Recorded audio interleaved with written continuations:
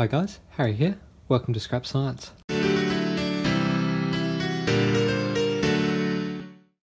What we're going to be doing today uh, is turning this sample of potassium iodide, which I bought uh, from eBay, uh, from China evidently. We're going to be turning that into elemental iodine. Now there are two normal ways someone would go about doing this. Um, first of all, you might make a solution of the potassium iodide and then react it with um, concentrated sulfuric acid, which will liberate um, pure elemental iodine as a vapor and as a solid that settles to the bottom of your beaker. The other way, of course, is to mix it with hydrochloric acid and then add hydrogen peroxide in order to oxidize the iodide ions into iodine. I never know whether to call it iodine or iodine. But anyway, it doesn't matter. The basic idea is to make a solution of our potassium iodide and then acidify it and add an oxidizer and that will oxidize our iodide ions. If we did it in neutral or basic conditions, uh, it would tend to form uh, iodate or periodate instead of elemental iodine, uh, hence why acidic conditions are used to oxidize the ion. Now I don't have uh, concentrated sulfuric acid and I don't have very much hydrogen peroxide. Both of those things are pretty tricky to get for me. Uh, concentrated sulfuric acid is basically impossible uh, aside from distilling dilute sulfuric acid and hydrogen peroxide is very expensive here. I'm currently working on a video about the synthesis of hydrogen peroxide from air and water uh, but you know, that might work, it might not. We'll get to that in a future video. So as far as oxidizers go, I don't really have many options for this reaction. And no doubt you've probably seen previously on YouTube a whole bunch of videos uh, similar to the two methods of generating iodine that I mentioned before. Wouldn't be anything new for me to do it. So for our method of oxidizing the iodide ions here, we're going to look back a few episodes of Scrap Science ago when we made bromine by a very similar method to what we're going to be doing here. We had sodium bromide and we acidified it, and then we oxidized it by electrolysis, of course, as always. The oxidizer in this case uh, is the anode of our electrolytic cell.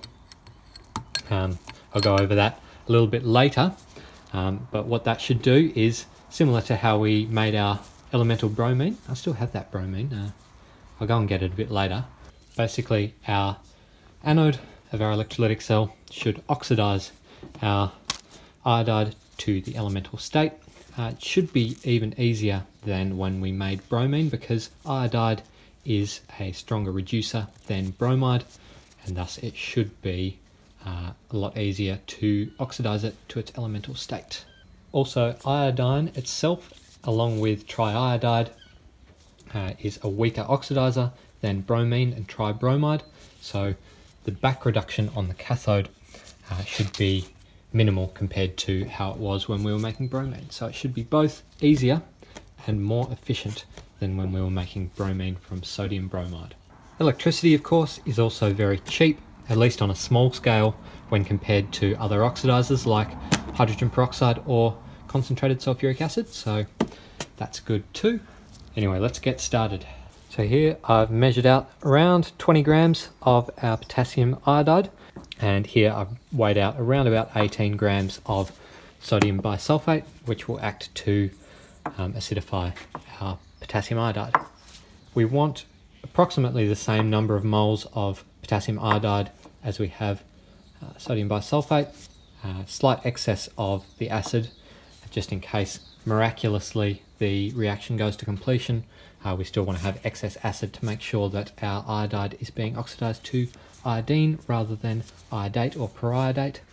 And we'll now go ahead and dissolve up our sodium bisulfate with a bit of distilled water and then add our potassium iodide.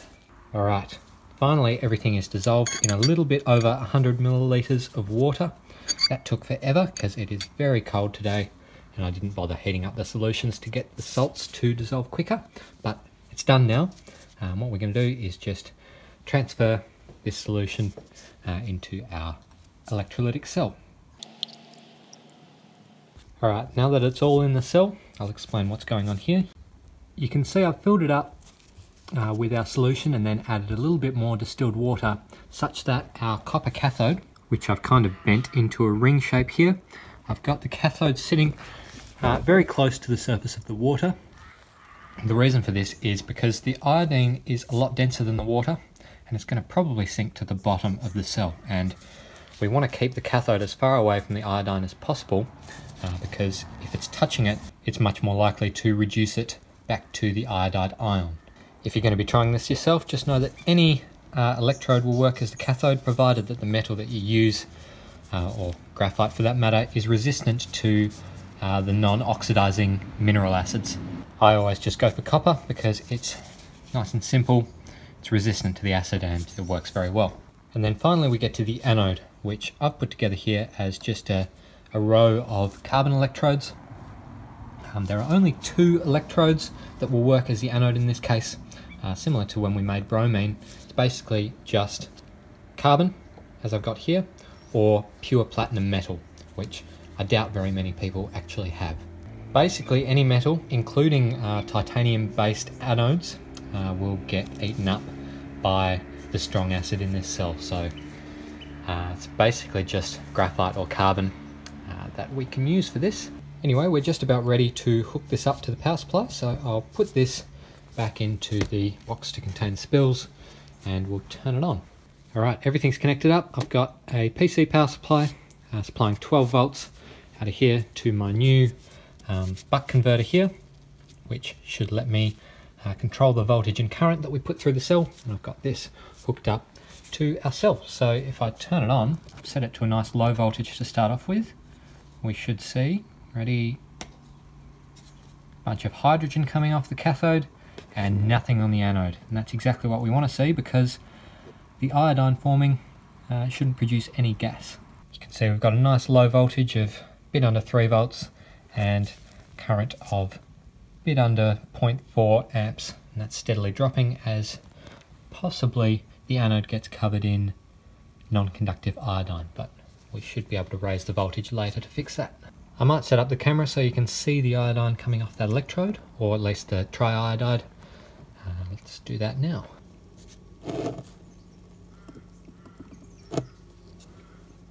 Cool.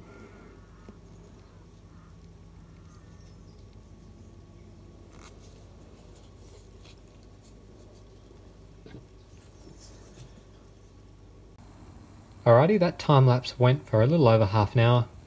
First half an hour of the running of the cell. We've had it running for about um, about an amp for the last 15 minutes. I turned it up so that we could actually get something on the time lapse because it didn't seem to be doing anything. But the bottom of the beaker is now very black and I suspect that's just concentrated triiodide, but just in case it is elemental iodine, uh, evolving at a much faster rate than I thought. I'm just going to turn it off, pull the electrodes out and get a good look at whatever we've made so far. Alrighty, this process is working a lot better than I expected. You can see down the bottom of this beaker here, there is a whole bunch, just after half an hour of running the cell, at about an average of three quarters of an amp, we have a whole bunch of sediment at the bottom of the beaker. It's really hard to see through this really dark solution, but we do have what I think is elemental iodine, and we have quite a bit of it. The only other thing it could be is just carbon dust falling off the electrode, but the electrode looks pretty fine. I mean, it's covered in what I can only assume is elemental iodine. Um, I think it's working very well, very quickly. I might restart the cell. Got the cell running at about half an amp. I might even turn that down later overnight uh, until tomorrow morning when we'll extract the elemental iodine. And you can see this is the rag that I used to position the anode on. You can see a whole bunch of what can only be iodine uh, that just soaked into this paper and that's looking very good. So I'm to leave this as is. I mean I'll come back to check on it periodically for the rest of the day. I'm to leave it going like this, maybe at a lower current until tomorrow morning, and I'll see you then when we will extract everything. Alright, we're back. It's been about 20 hours since uh, we started running the cell. You can see it's still running very nicely. The electrodes haven't fallen apart or anything. Um, last night I left it running at approximately 0.16, 0.17 amps overnight just because um, we actually made most of our iodine in the first couple of hours of running the cell and then it seemed to kind of run out of iodide to turn into iodine so I kind of left it at a low amperage just to make sure that the carbon electrode doesn't fall apart too much and contaminate our iodine with carbon powder but I definitely think that we're pretty much done now. The solution you can't really see but it's a lot clearer than it was when it was saturated with um, triiodide so I think what we'll do is I'll turn off the cell, I'll take out uh, the beaker, take out the electrodes and we'll have a look at what we've got. There we are, got the cathode here. Uh, looks perfectly fine, just a couple it's gone a little bit black, but uh, it hasn't fallen apart or anything as we'd expect. The anode has done remarkably well. You can see the carbon is pretty much untouched throughout the entire electrode. If we have a look at the cell, uh, it looks like we have, it's tricky to see on camera, but looks like we have quite a bit of iodine really. It looks like the iodine is piled up at the bottom of the beaker all the way up to around about here.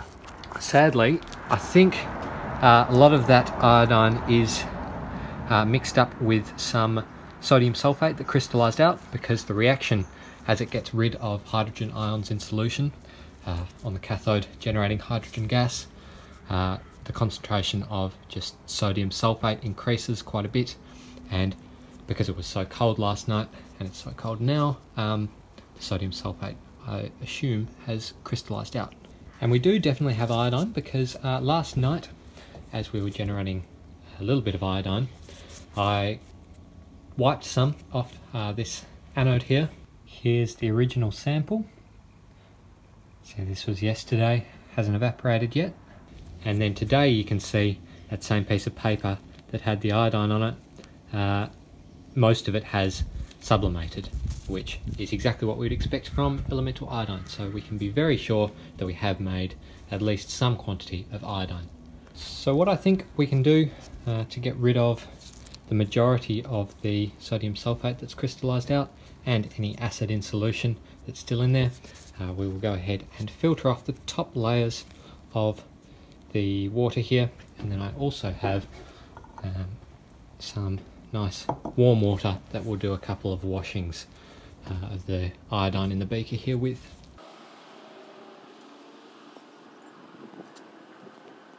I'll just do a couple of washings uh, with some warm water to get rid of the sodium sulfate. There we go, that is our still slightly wet iodine. Um, it looked like we had a lot more when it was in the cell, but that's okay, this is still more than enough for what I need. I'll go ahead, stick this on some paper towels to dry it out, and then we might even have a go at purifying it by uh, sublimation. That looks dry enough to me. Uh, what we're going to do now is transfer it into uh, this beaker. We'll put that on the hot plate, stick this on top, and hopefully uh, we will be able to sublimate our iodine and get it to deposit as crystals on the bottom of this beaker, which we will then store in an ampule, hopefully. Look at it go. Beautiful. You can already see it crystallizing on the sides of the beaker there. That's nice. Yep, a few minutes later, there's a little bit of water down there boiling away, but for the most part, can't really see in there, but we're getting a, quite a few crystals, I would imagine, on this top beaker. We'll let it go to completion, and then I'll uh, transfer the iodine crystals into this beaker down here and then we'll go ahead and do our best to try to put it in an ampule uh, just like we did with the bromine here. That that is very purple. Cool. Just while that's still hot, we'll take it off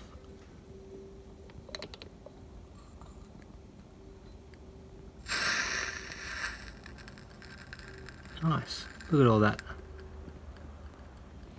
Can transfer it over here. Now we have iodine crystals. Not many and not much, but we do have them. I've now transferred the iodine into a test tube. There's really not much anymore.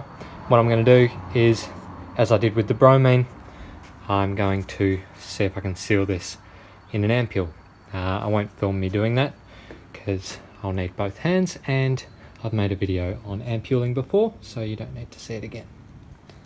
And there we are. Uh, that went way better than I expected. We were able to seal it off very easily and we have a very nice seal at the top there. So that's our ampule of iodine. Uh, there's not quite as much in there as it looks. It tends to stick to the walls. I think there's a little bit of water left in there, but that's okay. It's still very pure iodine. And there it is, sitting next to the bromine ampule we made before. That's two out of the five halogens done. Um, I guess there's only one more that we'd really be comfortable working with uh, to add to our what's now our halogen collection. Uh, maybe we'll in the future we'll make an ampule of uh, chlorine as well. That'll be a nice little set. And yep, uh, that is that. Um, we probably got less than a gram of iodine in the end. Uh, we got maybe two grams all up from the actual electrolysis and everything, and then I probably lost a whole gram due to sublimation and transferring it between the steps and the uh, purification step. But obviously, the yield of this electrochemical process is very, very poor. So I definitely wouldn't recommend anyone else try it. If you want to make iodine uh, and you have any oxidizer like hydrogen peroxide, concentrated sulfuric acid, or chlorine or something, I would definitely go with that because you'll get more iodine out of it and uh, it'll be much easier. That being said, I did probably stop the electrolysis quite a way before it was done. I mean, obviously there were still uh, bubbles of hydrogen off the cathode and uh, there was no oxygen coming off the anode, so it was still making iodine. However, I thought we had quite a bit in the cell, and it turns out we didn't. Uh, so maybe running the cell for longer or at a higher current density might, or probably will, uh, actually result in more iodine. But whatever, much easier to go with peroxide if you can get it. And with that said, I uh, think we're done. See you later.